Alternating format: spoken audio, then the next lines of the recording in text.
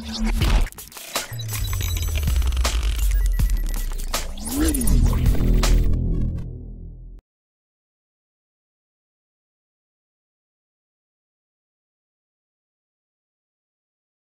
Friends sports பற்றின செய்திகளை உடனுக்குடனாக தெரிஞ்சுக்கொள்ள நம்ம தமிழ் கிரிக்கெட் சேனலை சப்ஸ்கிரைப் பண்ணுங்க.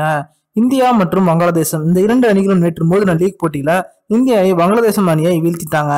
இந்த போட்டியில இருநாட்டு கிரிக்கெட் வீரர்களை விட ரொம்பவே பிரபலம் அடைஞ்சது யாருன்னு பாத்தீங்க அப்படின்னா எண்பத்தி ஏழு வயது நிரம்பிய தீவிர கிரிக்கெட் ரசிகையான இந்தியாவைச் சேர்ந்த சார்லதா பட்டேல் அப்படின்ற ஒரு மூதாட்டி தான். இந்திய அணி ஒவ்வொரு ரன் அடிக்கும் போதும் கேமரா இவருடைய பக்கம் திரும்பிச்சு அதுல இருந்தே சமூக வலைத்தளங்கள்ல இந்த பாட்டி ரொம்பவே பிரபலம் அடைஞ்சிட்டாங்க.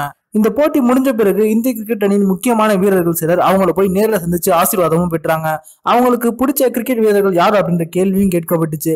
அது பத்தின முழுமையான வருத்தை பார்ப்போம். இந்திய அணி பேட்டிங் செய்யும் போதும் ஃபீல்டிங் செய்யும் போதும் ஒவ்வொரு ரன்னுக்குமே தன்னால் முடிந்த அளவு இந்திய அணியை ரொம்பவே உற்சாகம் செஞ்சாங்க. இவங்க வீல் சேர்ல வந்திருந்தாலும் கூட தன் கையில் வைத்திருந்த ட்ரம்பட்டை ஊதி கொண்டு இந்திய அணிக்கு தொடர்ந்து உற்சாகம் பண்ணிட்டே இருந்தாங்க.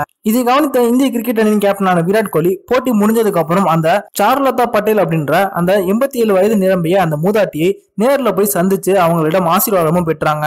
அடுத்ததா பாத்தீங்க அப்படின்னா இந்திய அணியின் துணை கேப்டனான ரோஹித் சர்மாவும் அவங்கள போய் சந்திச்சு ஆசீர்வாதம் வாங்கி கொண்டாங்க. அதன் பிறகு செய்தியாளர்கள் அவங்க கிட்ட சந்தித்து பேட்டி எடுக்கும்போது அவங்க என்ன சொன்னாங்க அப்படின்னா ஆயிரத்தி தொள்ளாயிரத்தி எண்பத்தி மூன்றாம் ஆண்டு கபில் தேவ் அவர்களோட தலைமையில இந்திய அணி கோப்பையை வெல்லும் போது நான் அங்க இருந்தேன். இந்த முறையும் இந்திய அணி கண்டிப்பா கோப்பையை வெல்லும். நான் அந்த மைதானத்துல அப்போது இருப்பேன் அப்படின்னு சொல்லியிருக்காங்க. அதே போல இந்திய கிரிக்கெட் வீரர்கள்ல எனக்கு எல்லாரையுமே பிடிக்கும். ஒவ்வொரு முறையும் இந்திய அணி இங்கிலாந்துக்கு வரும்போதெல்லாம் நான் மைதானத்துல வந்து நேர்ல போட்டி கண்டு கழிப்பேன் இந்த முறை இந்திய அணி தான் உலக கோப்பையை வெல்லும் அப்படின்னு அடிச்சு சொல்லியிருக்காங்க. இந்த போட்டி முடிஞ்சதுக்கு அப்புறம் இந்திய கிரிக்கெட் அணியின் கேப்டனான விராட் கோலி தன்னுடைய சமூக வலைதளங்கள்ல இந்த போட்டி வெற்றிகரமா முடிச்சதுக்கு அனைத்து ரசிகர்களுக்குமே ரொம்ப நன்றி.